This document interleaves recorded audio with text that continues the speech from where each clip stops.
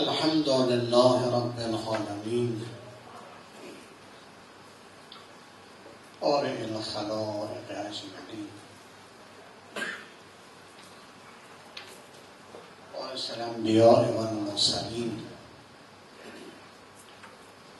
والصلاة والسلام على حبيبنا وحبيب إله العالمين العبد المؤيد والرسول المسدد المصطفى الأمجد المحمود الأحمد. وبالقاسم المصطفى محمد. اللهم صل على محمد وآل محمد اللهم صل على محمد وآل محمد اللهم صل على محمد وآل محمد صلى الله عليه وآله المعصومين وأصحابه المنتجبين ومن تبعهم بإحسان إلى قيام يوم الدين. أوصيكم عباد الله ونفسي بتقوى الله. فإن خير الزاد التقوى. وقال علي عليه السلام عليك بالورع فإنه عون الدين وشمة المخلصين. Setelah mengucapkan tahmid, tasbih, serta sholawat, khatib tidak lupa berpesan wasiat kepada diri khatib sendiri dan yang kedua kepada jamaah hadirin sidang Jumat yang berbahagia yaitu pesan ketakwaan karena takwa adalah sebaik-baik bekal di hari akhirat.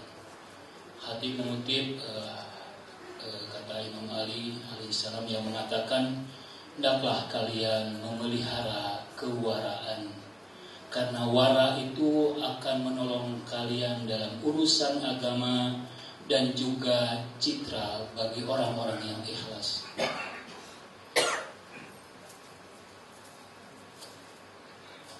در ماه شریف جمادی الاول قرار داریم که هفته قبل خدمت شما عرض کردم که روز نهم مواردی رو دارد که قبلا عرض کرده بودم روز نهم روز ولادت روز پنجم ولادت عقیلت العرب زینب کبرا بود. روز هشتم که روز پنجشنبه یعنی دیروز باشد. جنگ موته در سال هشتم هجری قمری اتفاق افتاد. موته یک قریه است از قراء شام که مشرف به تپه های قانیتره فعلا موجوده در شام هست دو منزل تا بیت المقدس و فلسطین بیشتر راه ندارد. رسول خدا حارس ابن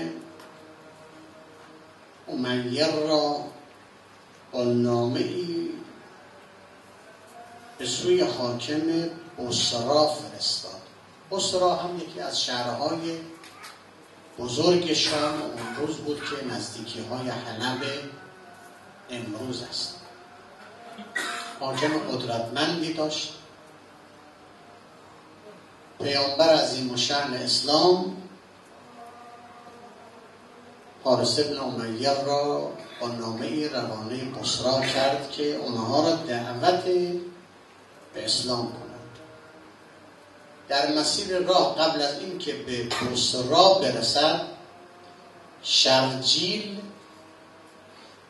یکی از فرماندهان قیصر روم.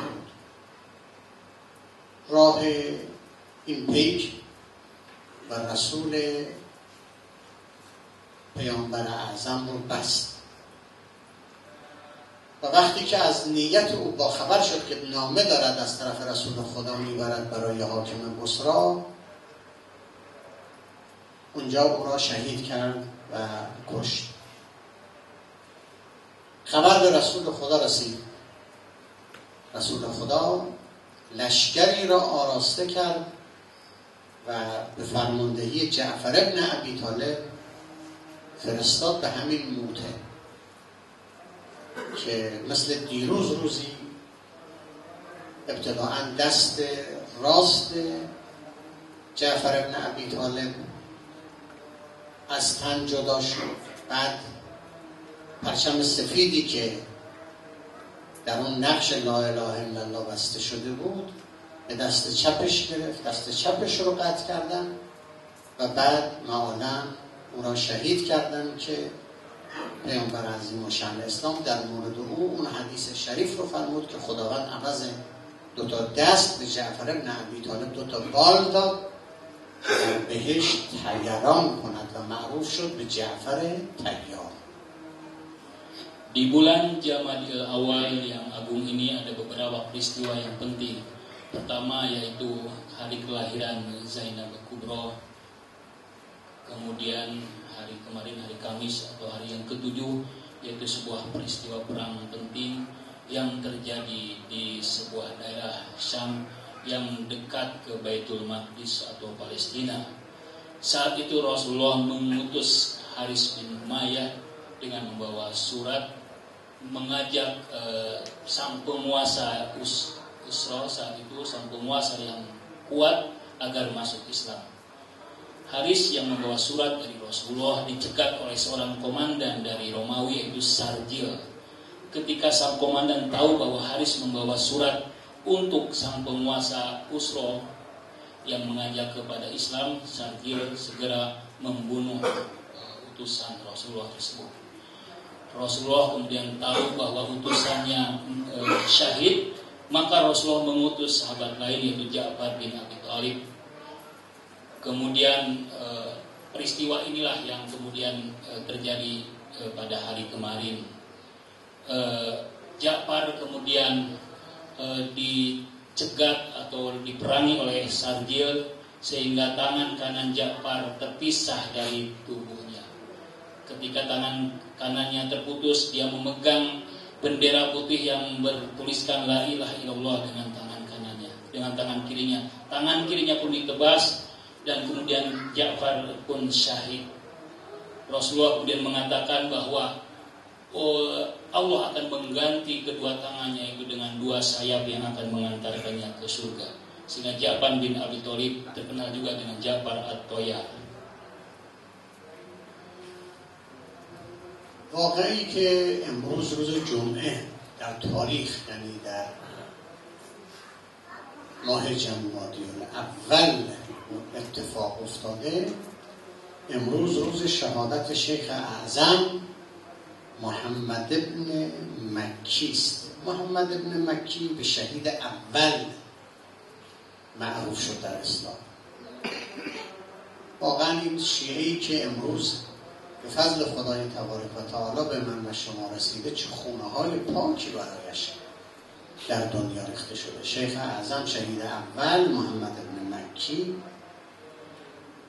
قاضی القضات شامات بود.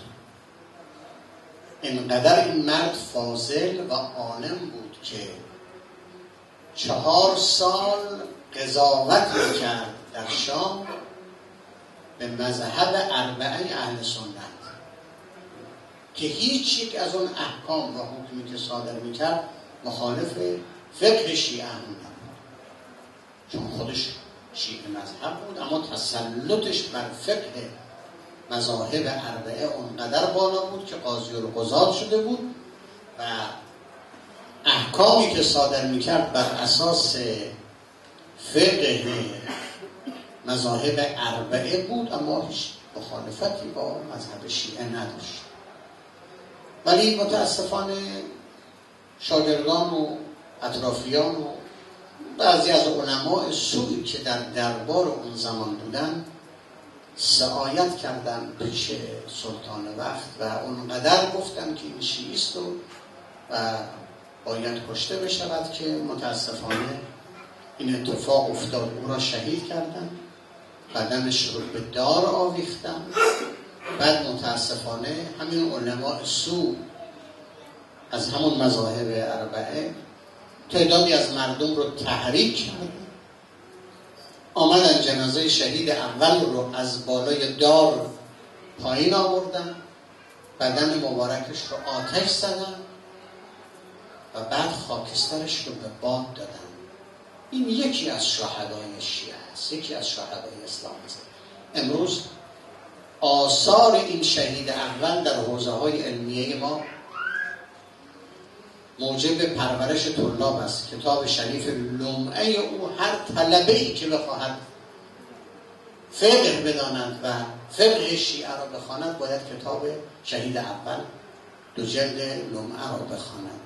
کتاب های دیگری مثل دروس و ذکرا و باقیات و صالحات و امثال اینها هم از ایشون باقی مونده که اینها گنجینه هایی هست که به یادگار از اون شهید اول برای ما باقی مونده است Hari ini hari Jumat di bulan Jumadil awal juga hari syahidnya uh, Syekh Abdul Muhammad bin Maki yang digelari syahid awal. Beliau seorang ulama yang menuliskan kitab Lum'ah yang sampai sekarang dipelajari oleh para pelajar Ahlul Bait dan kitab-kitab lain. Karya-karya beliau telah menumbuhkan uh, peradaban keilmuan di Ahlul Bait. Syahid awal digelari syahid karena beliau dibunuh atas konspirasi orang-orang tertentu. Padahal pada masanya beliau adalah seorang ahli eh, hakim, seorang qadil kudot, hakim terkemuka yang memutuskan perkara-perkara dengan merujuk kepada eh, madhab yang empat, madhab ahlu sunnah yang empat, tetapi tidak bertentangan dengan madhab ahlu bait. Ini menunjukkan penguasaan beliau yang luar biasa atas berbagai uh, fikih madahib seluruh madahib ahlu sunnah tetapi juga beliau bisa mengeluarkan fatwa yang tidak bertentangan dengan madhab ahlu sunnah. Nah, beliau selama empat tahun menjadi hakim di Syam yang menunjukkan memang ke, keutamaan dan kedudukan beliau. Namun beberapa orang tertentu karena hasud menghasut raja menghasut penguasa saat itu sehingga beliau pun digantung. Ketika digantung ulama, beberapa ulama yang membenci itu orang-orang provokator yang membenci itu eh, syahid awal yang digantung itu ditarik ke bawah kemudian dibakar Inilah sebuah peristiwa yang terjadi pada hari Jumat Sabtu.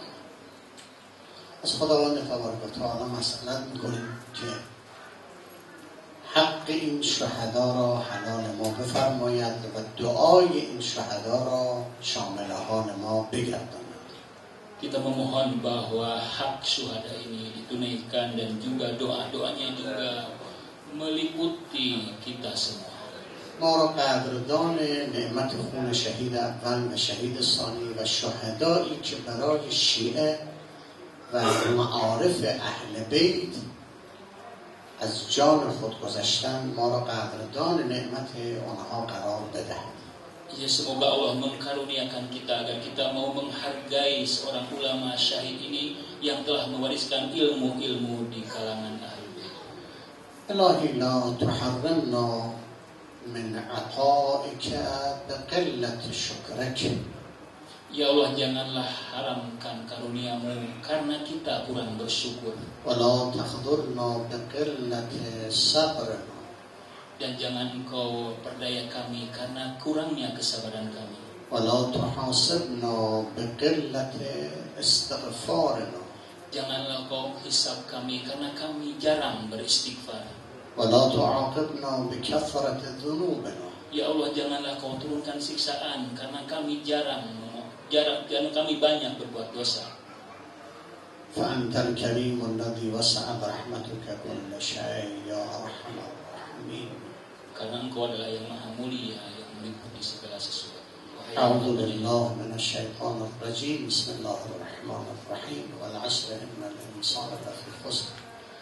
إلا الذين آمنوا وعملوا الصالحات وتواصوا بالحق وتواصوا بالصبر. صدق الله إن الله وملائكته يصلون على النبي. يا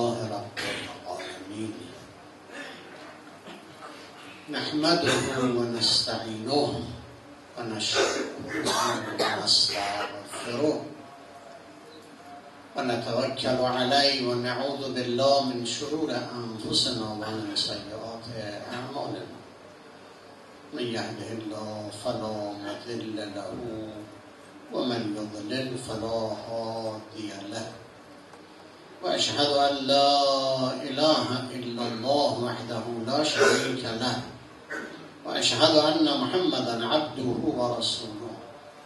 أرسله بالهدى ودين الحق ليظهره على الدين كله ولو كره المشركون. ونصلي ونسلم على حبيبه ونجيبه وسفيه وأمينه حافظ سره ومبلغ رسالاته. العبد المؤيد والرسول المسدد المصطفى الأمجد المحمود الأحمد أبي القاسم المصطفى محمد. اللهم صل على محمد وآل محمد. اللهم صل على محمد وآل محمد. اللهم صل على محمد وآل محمد. صلى الله عليه وآله المعصومين وصلى على علي أمير المؤمنين وفاطمة الزهراء سيدة نساء العالمين. وعلى الحسن والحسين سيدي شباب أهل الجنة أجمعين. وعلى علي بن الحسين زين العابدين. وعلى محمد بن علي باقر العلم النبيين. وعلى جعفر بن محمد الصادق البار الأمين وعلى موسى الكاظم الكظيم وعلى علي بن موسى الرضا المرتضى وعلى محمد بن علي التقي الجواد وعلى علي بن محمد النقي الهادي وعلى الحسن الزكي العسكري وعلى الحجة المهدي صلوات الله عليهم أئمة. اللهم إني رضيت بهم أئمة فرضني على كل شيء قدير معاشر المؤمنين رحمكم الله. أوصيكم وإياي بتقوى الله. فإن خير الزاد التقوى. فقال علي عليه السلام التقوى ظاهره شرف الدنيا. وباطنه شرف الآخرة Setelah mengucapkan tahmid, salam, tasbih dan salawat, beliau berpesan agar kita selalu memelihara ketakwaan karena sebaik-baik bekal di hari akhirat adalah takwa. Imam Ali juga menegaskan ketakwaan itu lahiriahnya adalah keagungan dunia dan batinnya adalah kemuliaan akhirat. در خطبه دومی که دو تا حدیث راجع به اخوت و برادری و نقش این تفکر و این اندیشه که انسان با دیده اخوت و برادری به یکدیگر نگاه کند چیست؟ متاسفانه امروز به دلایل سیاسی که در رسانه ها مخصوصا کانال های متعدد تلویزیونی و با استفاده از فضای مجازی مسلمان ها رو به جای اینکه اونها رو تشویق و ترغیب به برادری بکنن تشویق و ترغیب به دشمنی می‌کنن و نفاق و متاسفانه انشقاق بین گروه های اسلام میزن امت واحده اسلام تا زمانی که این وحدت را به دست نیاورد جایگاه واقعی خودش رو در جهان به دست نخواهد آورد. اون عزت با اون اقتداری که در زمان رسول خدا بود به علت وحدت بود یک بارچگی بود. اختلافی نبود. ولی بعد از رسول خدا متاسفانه این راه های انحراف باز شد و این شکاف همچنان روز به روز عمیقتر می شود Di khutbah yang kedua ini saya ingin menyampaikan dua hadis tentang ukhuwah dan persaudaraan. Kita berharap bahwa selayaknya kita selalu memikirkan pentingnya ukhuwah di antara sesama muslim. Namun sangat disesalkan sekali bahwa media massa telah mengaburkan fakta dan bukannya mendorong umat ini agar bersatu, berpadu, namun malah memprovokasi perpecahan. Perpecahan ini semakin lama semakin besar dan menganggap. Padahal Aisyah, kemuliaan dan kejayaan umat ini terletak pada wahdah dan persatuannya. Sebagaimana yang terjadi pada Rasulullah. Namun sayangnya pasca Rasulullah terjadilah inhiraf penyimpangan. Sehingga bukannya bersatu malah berpecah belah. حدیث شریفی از امام صادق علیه السلام هست که شاید بیشتر شما یا شنیدید یا شبیه به این حدیث البته احادیث دیگری هم وجود دارد که اونها رو شنیده باشید. قال صادق علیه السلام المؤمن اخو المؤمن كالجسد الواحد ان اشتكى شيئا منه وجد علما. في سائر جسده. و ارواحهما و ارواحهما من روح واحد. همه مسلمان ها همه مؤمنین همه اونهایی که گوینده لا اله الا الله هستند باید مانند یک بدن و یک جسم باشن که اگر همون جوری که انسان وقتی سرش درد می‌گیره تمام اعضا و جوارش تحت تاثیر اون قرار اگر کسی پاش درد می‌کنه بقیه اعضا و جواره بدن هم تابع اون درد پا میشن. اگر کسی شکم درد می‌گیره همین شکل است. و لذا میفرماید که مؤمنین باید چنین باشن که اگر علمی دردی ناراحتی غمی قصه برای گروهی ادهی به وجود اومد بقیه هم با اون شریک باشن. امروز متاسفانه سالهای ساله که ما شاهد جنایت ها بی خانمان شدن مؤمنین در بدر شدن مؤمنین قتل نفس مؤمنین که ناموس مؤمنین به دست خود مسلمان ها هستیم. و متاسفانه صدایی از کسی به عنوان آه و قصه بر نمی آید. خب این خلاف دستور رسول خداست خلاف آموزه های دینی ماست.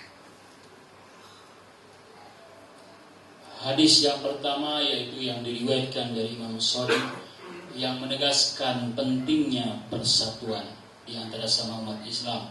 Hadis ini mungkin sudah Anda dengar semua. Imam Sadiq mengatakan seorang mukmin itu adalah saudaranya mukmin yang lain. Dia seperti satu tubuh, satu kesatuan dari tubuh.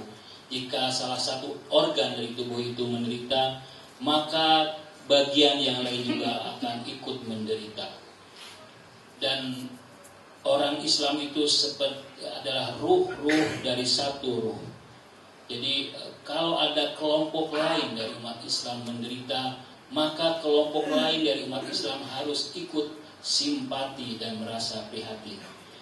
Namun sayangnya, sayangnya seperti yang kita lihat sekarang, banyak sekali umat Islam sekarang ini yang eh, eh, menderita, mereka menjadi pengungsi, terusir, terbunuh Bahkan haji yang seharusnya menjadi peristiwa untuk meneriakan persatuan sebagaimana yang telah digariskan oleh Rasulullah tidak dimanfaatkan. Ini adalah eh, tidak tiadanya persatuan merupakan sebuah penentangan atas misi Rasulullah. از خداوند تبارک و تعالی میخواهیم که دلهای ما را قلبهای همه مسلمان ها را به نور وحدانیت خودش به نور تعالیم عالیه اسلام و بیانات رسول مکرم اسلام که ما را به برادری و وحدت فراخواندهاند روشن و منور بفرمایند Kita memohon agar hati-hati jiwa-jiwa seluruh kaum muslimin dengan anugerah cahayanya, cahaya persatuan dan ajaran-ajaran yang agung serta penjelasan-penjelasan dari Rasulullah semuanya bisa menyatu bersatu padu dan tercerahkan. از خداوند تبارک و تعالی می‌خواهیم که شروری را که دشمنان دین ما دشمنان قرآن ما دشمنان رسول خدا و دشمنان اهل بیت سلام الله علیهم اجمعین به ما تحمیل کرده این شر به خودشون برگردان نشود Kita memohon agar keburukan yang disebarkan oleh musuh-musuh Islam, musuh-musuh Ahlul Bait, agar keburukan itu kembali kepada musuh-musuh Islam sendiri. غفر الله لنا ولكم معاشر المؤمنين رحمكم الله ان الله يامركم بالعدل والاحسان وايتاء ذي القربى وينهى عن الفحشاء والمنكر والبغي يعظكم لعلكم تذكرون. بارك الله لي ولكم في القرآن العظيم. ونفعني وإياكم بما فيه من الآيات والذكر الحكيم. وتقبل مني ومنكم تلاوته إنه هو السميع العليم. أقول قولي هذا واستغفر الله العظيم لي ولكم ولسائر المؤمنين والمؤمنات والمسلمين والمسلمات. فاستغفروه إنه هو الغفور الرحيم. أعوذ بالله من الشيطان الرجيم بسم الله الرحمن الرحيم اذا جاء نصر الله والفتح ورأيت الناس يدخلون في دين الله أفواجا فسبح بحمد ربك واستغفر إنه كان توابا صدق الله العلي العظيم لا إله إلا الله محمد